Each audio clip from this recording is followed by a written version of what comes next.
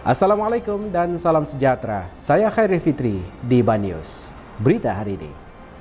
Setiausaha Agung AMNO Tan Sri Anwar Musa berkata hasil tinjauan mendedahkan hanya kira-kira 90 ahli parlimen yang tidak mahu Tun Dr. Mahathir Mohamad memimpin negara manakala 48 lagi wakil rakyat mahu Tun Mahathir terus kekal sebagai Perdana Menteri dan mentadbir kerajaan manakala 83 lagi akan menentukan sikap bila mereka perlu berbuat demikian.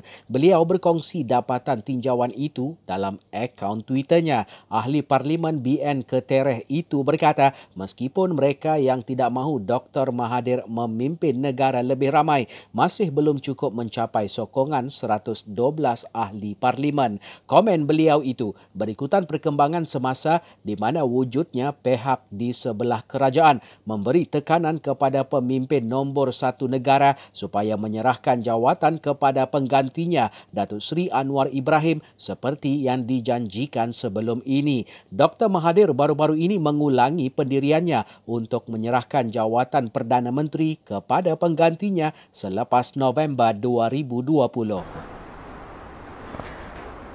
Saya Khairi Fitri di Banius. Untuk sebarang berita dan info yang berlaku di sekitar anda, kongsikan dengan tinggalkan komen anda di bawah.